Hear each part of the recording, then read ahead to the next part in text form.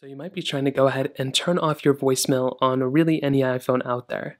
Now doing this is actually kind of a interesting process. It's not necessarily the hardest thing in the world, but it may not be able to you may not be able to do it from your iPhone.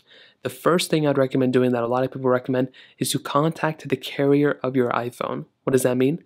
Well, if you have an iPhone that you got from T-Mobile, if your SIM card is from T-Mobile or AT&T or Verizon, whatever it is, well, you're going to have to contact them and let them know that, hey, I don't want to go ahead and you know be contacted anymore, and I don't want to be Basically, I don't want to have voicemails anymore. That is all you pretty much have to tell them, and that should end up allowing them to go ahead and turn off the voicemail on your side. Now, I don't have the voicemail icon here, and that is because I don't have a SIM card on this phone. So if you really hate getting voicemails, you can always just take out your SIM card and you won't see that voicemail panel anymore. So that is another thing you may want to do. But another thing that I've seen a lot of people mention is actually by using this specific code.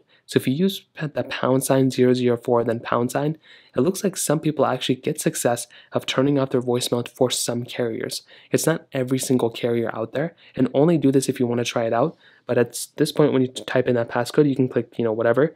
And as you can see, I don't get anything because I do not have a SIM card in here, but you can try that passcode out and see if that actually ends up working as well. Again, it may not be a guarantee, but that is another thing you can try out.